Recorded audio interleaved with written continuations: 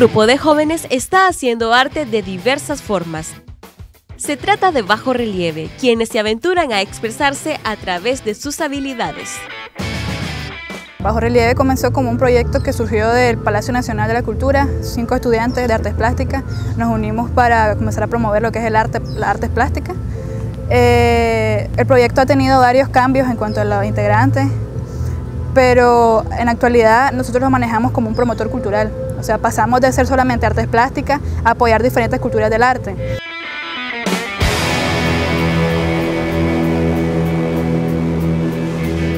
En este colectivo de chavalos artistas, todos tienen una función especial. Eh, yo soy diseñador gráfico y mi trabajo así detrás de, las cámaras, se podría decir, eh, está todo lo que es la parte publicitaria. Yo me encargo de crear los afiches, el mantener actualizada la página de Facebook.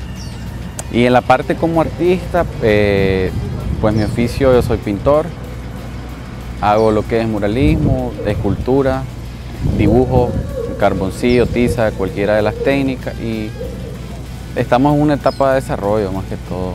Me dedico a esto desde hace, por decir, como seis años. Este, yo incursioné en la Escuela de Artes Plásticas y me dedico más a lo que es el retrato, la pintura, Combinar la poesía, música y pintura ha sido una de las actividades relevantes en las que Bajo Relieve se ha destacado.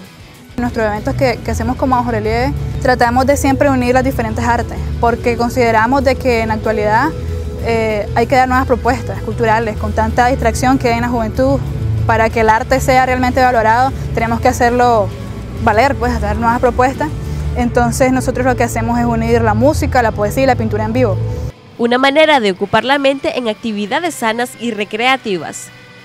Trabajar entre jóvenes eh, es muy interesante porque cada quien viene, es cuando cree que el artista trae las propuestas más frescas, no, no, sé, no sea eh, tal vez saturado, sino que está con mucho, muchas ganas de crear y pues eso es una de las cosas más interesantes. Estos jóvenes apuestan a todo y aunque esto apenas es el comienzo, quieren seguir creciendo. Hemos trabajado en escenografía, ellos son muralistas, ofrecemos bastantes tipos de servicio artístico. Eh, entonces la idea es unir todas esas ramas del arte para comenzar a ofrecerlo como servicio de producto.